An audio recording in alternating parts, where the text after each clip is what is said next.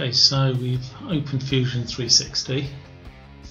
Uh, the first thing I like to do is to save the project, give it a name, then start a new sketch, orientate it so it's top down in this case, and then select the plane for that sketch.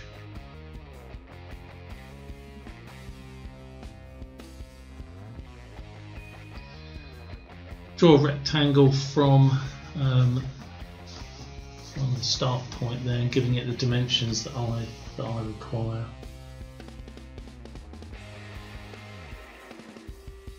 And then Roo sort of zoom in so I can see it a little bit better. Move move the uh, the dimensions in just so it's more manageable. Then I'll draw a rectangle put in the dimensions that I require. And then lock it to uh, a given distance away from away from the edge.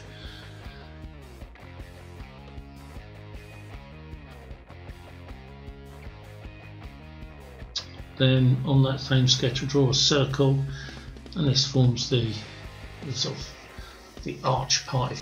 I'll then continue on that sketch and uh, using the offset tool. As you can see put an offset in of 4 mil.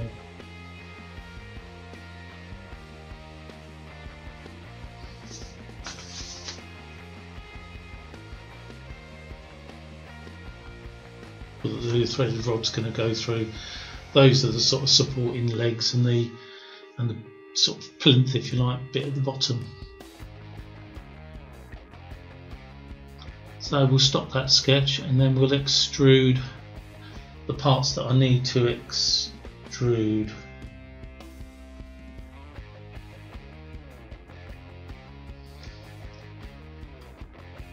So we'll type in the dimension that I actually want there, how big I want this to be. Uh, and then just to uh, just extrude the bottoms of those leg bits so they join up with the plinth if you like. And there you've got the basic shape of the of the bracket. Next I want to place in the holes so start a new sketch. Put it on the uh, on the surface of that part. Find the midpoint of that.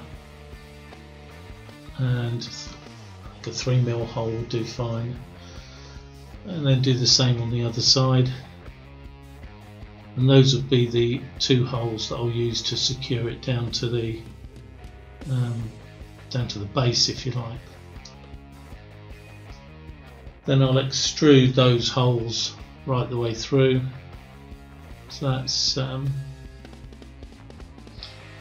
that's essentially the part. I can tidy up a, a few bits here. I think I'll put a, a fillet around the edges. Where are they? There you go, fillet. Just on those bottom edges just to sort of tidy them up a little bit. And here you can move the arrow or type in a dimension that you want. So that makes it look a little neater. I think that's quite an acute angle there, sort of 90 degree angle there. I think if I add something to where the leg comes down and the and the sort of base of it goes out, if I add a, a chamfer there, it would add a bit more material and make it stronger. So let's just bring that out sort of reasonable distance. That seems to look okay. Same on the other side.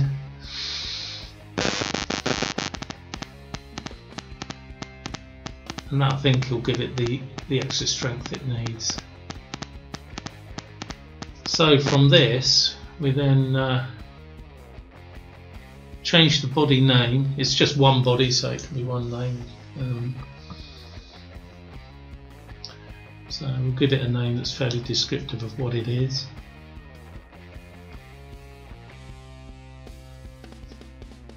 And then we can save that body as an STL. I just use the high settings,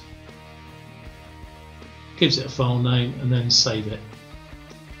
Uh, and that's the STL file ready for 3D printing.